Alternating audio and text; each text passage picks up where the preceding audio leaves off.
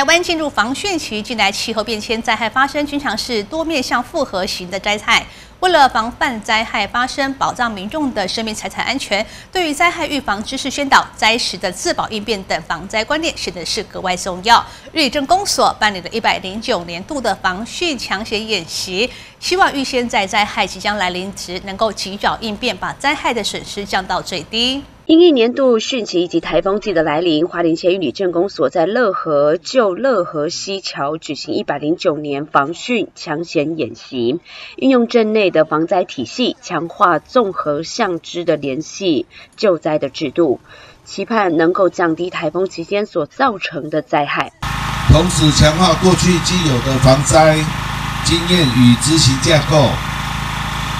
其使都相关。防灾救险单位依权责及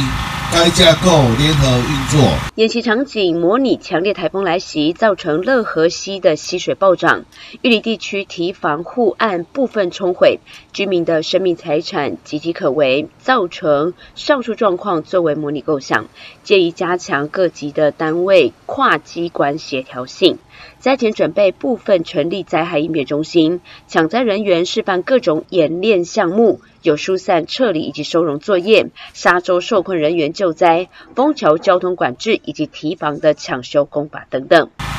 亦希望借由这一次的演习机会，能落实本镇防救灾害工作与计划的功能，更